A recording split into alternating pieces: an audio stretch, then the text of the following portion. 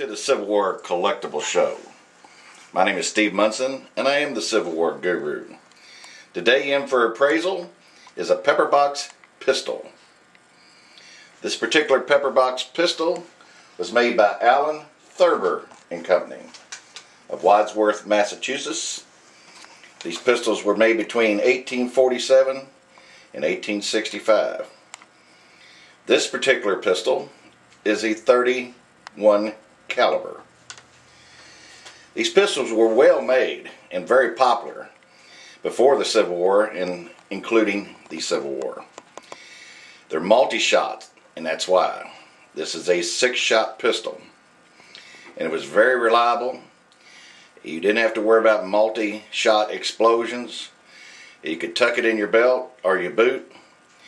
They're well made as you can see and this has engraving on the the down down back side of the handle. Wonderful little walnut grips on it.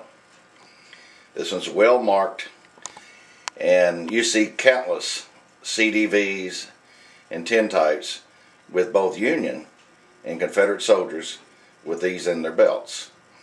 So for a personal sidearm, this was a, as good as a Colt for close range. And this particular pistol come in and it has a storage case behind it and after examining the storage case I don't think it has anything to do with the pistol but it is a period storage case and it is marked and according to the gentleman that I'm praising for said that when he inherited it it was with the pistol it has a name on top of the the box C.R. Riddle in 1853 but we, we're going to put most of the credence in the pistol. And the value of this pistol is about 550 to $700. It's a very affordable collectible. And these were very popular again during the Civil War.